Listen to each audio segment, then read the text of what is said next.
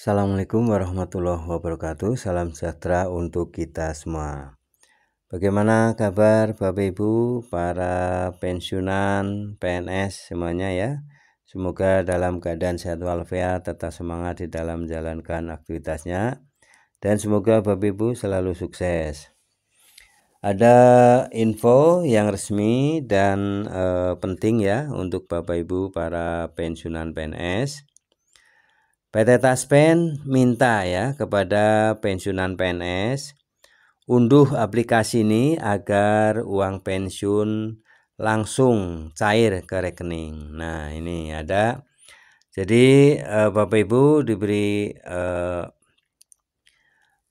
tugas ya ataupun kewajiban untuk mengunduh ya aplikasi eh, yang disampaikan oleh PT Taspen ya agar Bapak Ibu bisa mendapatkan gaji secara rutin, cepat dan tepat ya.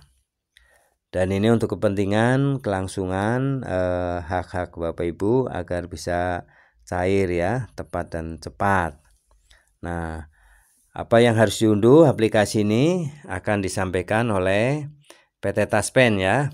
Ini eh, sangat penting yang harus dilakukan eh, agar Bapak Ibu bisa selalu mendapatkan haknya ya.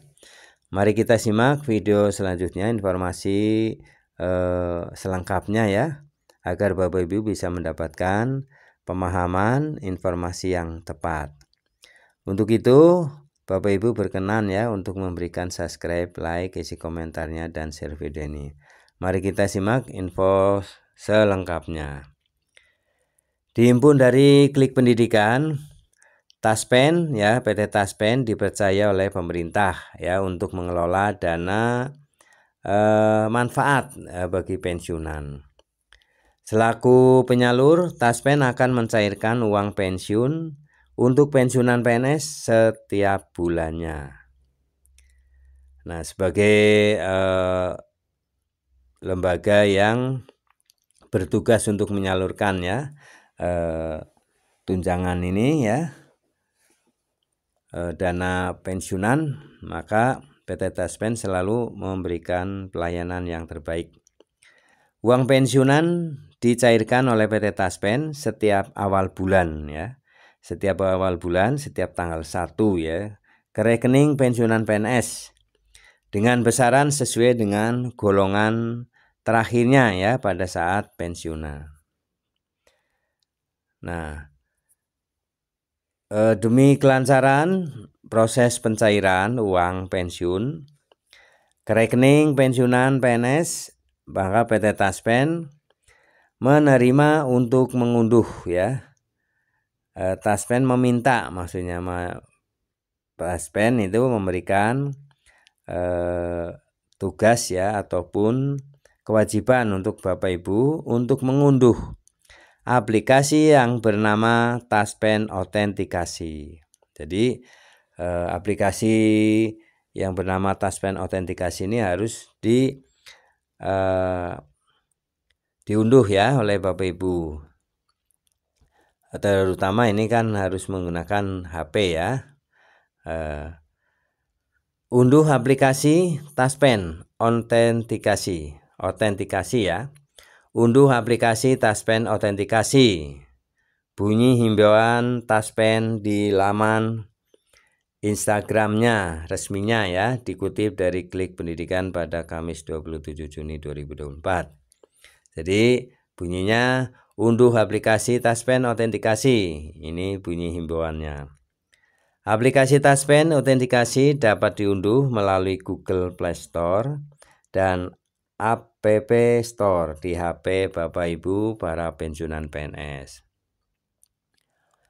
Perlu diketahui, aplikasi Taspen Autentikasi merupakan langkah yang diupayakan Taspen agar proses autentikasi dapat dilakukan dengan mudah dan praktis. Bapak Ibu pensiunan PNS tidak perlu mengunjungi kantor cabang atau mitra bayar Taspen untuk melakukan autentikasi. Sebab autentikasi adalah proses verifikasi yang dilakukan pensiunan untuk memastikan bahwa dana pensiun diterima oleh pihak yang berhak ya jelas taspen.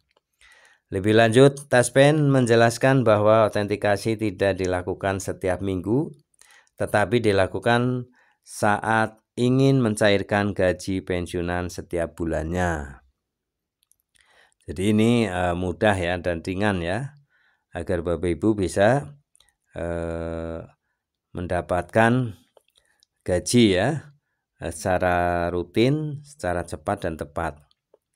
Lebih lanjut, PT Taspen menjelaskan bahwa autentikasi tidak dilakukan setiap minggu ya, tetapi dilakukan saat ingin mencairkan gaji pensiunan setiap bulannya. Sebagai tambahan informasi berikut ini ya rincian nominal gaji pokok pensiunan PNS golongan 1, 2, 3 dan 4 sesuai dengan PP nomor 8 tahun 2024. Nah, ini gajinya ya. Untuk golongan 1, 1A hingga 1D ya. Itu antara 1.748.100 hingga 2.165.200. Golongan 2 antara 2A eh, hingga 2D ya yang terendah ya yaitu 1.748.100 hingga 2D mencapai 3.208.800 rupiah. Golongan 3 3A hingga 3D 3A eh, yang terendah itu 1.748.100 hingga yang tertinggi 3D yaitu 4.029.600. Untuk golongan 4 golongan 4A itu mencapai 4.200 4B bisa mencapai 4.377.800 4C 4 juta 562.900 4D hingga mencapai 4.755.900 dan 4E hingga mencapai 4.957.100 Selain gaji pokok, PT Taspen juga akan memberikan tunjangan melekat meliputi tunjangan keluarga dan tunjangan pangan. Sebelum mendapatkan pencairan gaji pokok beserta tunjangannya, pastikan pensiunan PNS sudah melakukan autentikasi melalui Taspen Autentikasi. Nah, demikian ya Bapak Ibu informasi yang uh, resmi dan penting untuk dilakukan oleh Bapak Ibu sebelum uh, mendapatkan uh, pencairan gaji bulanan ya. Terima kasih telah menyimak video ini, semoga bermanfaat. Jangan lupa Bapak Ibu untuk memberikan subscribe, like, isi komentarnya, dan share video ini ke grup ya. Nah, sampai jumpa kembali di video-video selanjutnya. Assalamualaikum warahmatullahi wabarakatuh.